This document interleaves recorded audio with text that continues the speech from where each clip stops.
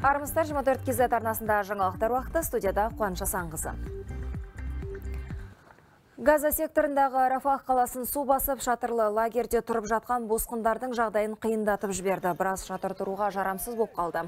Таяу шығыстағы қарулы қақтығыс басталғалы 1 миллион 800 мың палестиналық үй жайын тастап босып кеткен.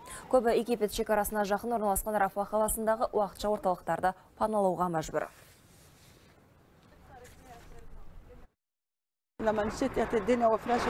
Біз шатырда жеті адам тұрамыз. Жаңбыр жауып көрпе жастықтың бәрі су болып кетті. Сөйтіп көрші шатырдағы адамдарға барып балаларымды сонда қалдырып кеттім. Өзім осында қайтып келдім. Қатты тоңып қалдым. Мен бала шағаммен хан юнистен осында келдім. Не көрпе не шатырымыз жоқ әлі. Жаңбыр жауғанда басымызды пакетпен жауып отырдық. Француз фермерлерінің ереуілі басылар емес. Бұл жолы олар елдің 85 департаментіндегі жолдарды жауып тастады. Шаруалар дизельдік отын бағасының өсуімен субсидиялардың қысқаруына наразы. Сондай-ақ бюрократиялық тексерулер көбейіп кеткенін айтады. Премьер-министр кейбір талаптарды орындауға дайын екенін жеткізді. Қазір осыған ұқсас ереуілдер Франциядан бөлек Германия, Румыния мен Польшада да өтіп жатыр. Бұл елдерде де шаруалар дизельдік отын бағасының өсуіне қарсы.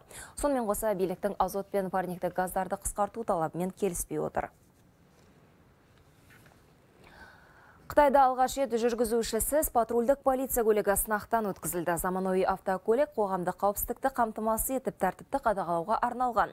Автономды басқару технологиясы бар темір тұлпардың сенсорлы құралы 360 градусқа айналып, 120 метрге дейінгі аралықты бақылап отырады. Бұл жолдағы жағдайды есептеп, көліктің жүру қауіпсіздігін қамтамасыз етуге мүмкіндік береді. Ол сондай-ақ жазатайым оқиғалар мен құқық бұзушылыққа қатысты сәттерді түсіріп, орталыққа онлайн режимде жолдай алады. Өрт сөндіргіш алғашқы көмек көрсету жинағы жарылыстан қорғайтын киімдермен жабдықталған. Павлодар облысында оқушыларға арналған аққу жобасы бойынша 250 клуб жұмыс істеп тұр. Жобаның басты мақсаты қыз балаларды ұлттық салт дәстүр негізінде тәрбиелеп, жастардың бойында қазақ өнеріне деген сүйіспеншілікті қалыптастыру.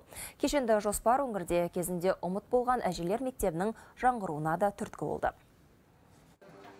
Алина Жұмабекқызы аққу жобасының қатысушысы бір жыл ішінде тақия тігуді үйреніп алды. Ендігі мақсаты жүн түтіп ұршық иірудің қыр сырын меңгеру. Оқушының ұлттық қолөнерге деген ынтасы зор. әжелерден мен ақыл кеңестерін естіп болашақта қандай қыздарға қандай болу керек қазіргі қыздардың көзқарасы қандай сол сияқты көптеген нәрселерді үйренгім келеді және де менің көп қызығатын нәрсем ол апалардың әңгімелері маған сол қызық болады өте Ұлттық құндылықтарды сөзбен емес іспен дәлелдеуге бағытталған жоба ата әжелер мектептерінің жаңғыруына сеп болды. Бүгінгі таңда облыс мектептерінің жанынан түрлі клубтар ашылып қарқынды дамуда.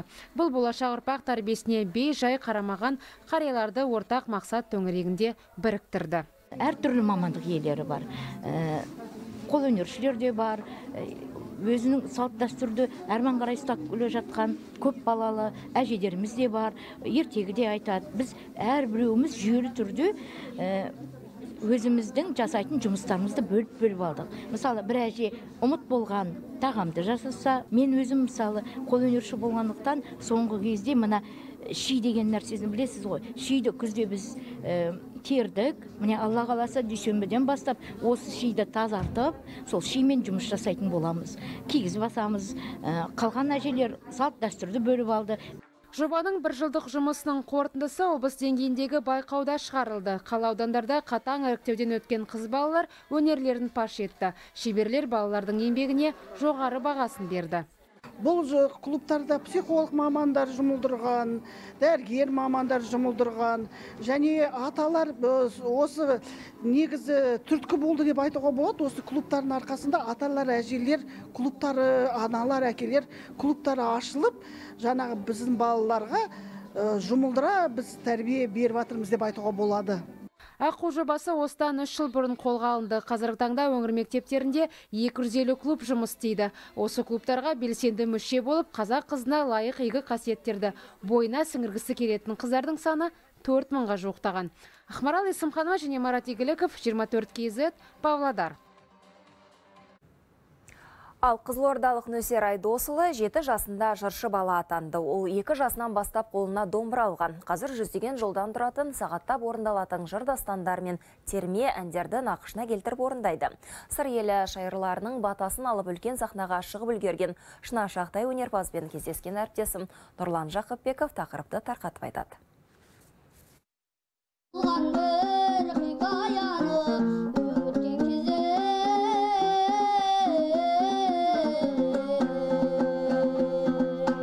Көтеріңкі дауыспен оу деген айналайын нөсердің нөсерлете орындайтын жырын жүз жастағы атасы үйіп тыңдайды. Талантты немересін әрдайым қолдап қолпаштап отырады. Ал өнерпазға шабыт беретін тыңдарманның шын ықыласы дейді жас жыршы.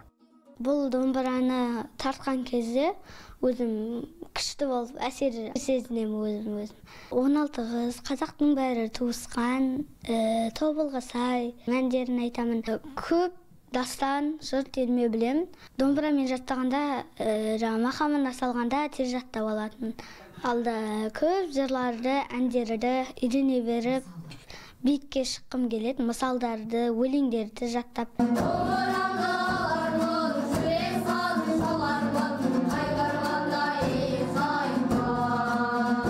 Өнерлі бала екі жасынан домбыраны қолына алған. Бұл ынтасын байқаған анасы қос ішектің қыр-сырын үйрете бастапты. Көп ұзамай мақамдарды меңгеріп жыр жаттай бастайды. 130 жолдан асатын шораяқтың омарының жарлы тәліп дастанында аз уақытта жаттап алған.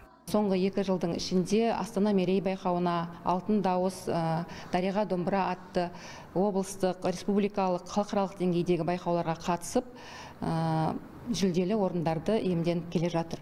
Жас болса да өзінің осы дәстүрлі өнерге деген қызығушылығының құлшынысының арқасында кейбір үлкендердің кейбір жастардың жетпеген жетістіктерін қол жеткізіп келе жатыр.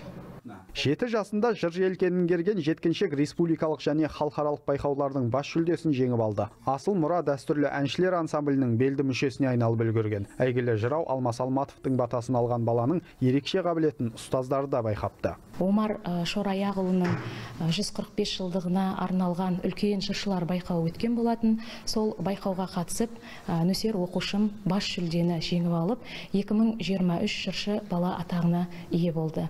Сонымен қатар осы бірінші сыныпты аяқтағаннан кейін жылдың қорытындысы ретінде жыл үздік жылдың үздік оқушысы номинациясына ие болды.